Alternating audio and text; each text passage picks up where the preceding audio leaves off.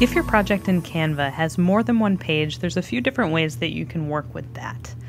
At the bottom of your Canva project, there's this little tab that you can bring up and down to show the pages in like a film strip style. With it in a film strip style, you can click and drag to move those slides around. You can click the three dots to be able to duplicate pages, delete pages, hide pages, or add transitions. If you have this hidden, then you have the ability to duplicate pages up at the top, delete pages at the top, or if you scroll all the way down to the bottom of your project, there's an Add Page button. Those are the two different ways that you can work with multiple pages in a Canva document.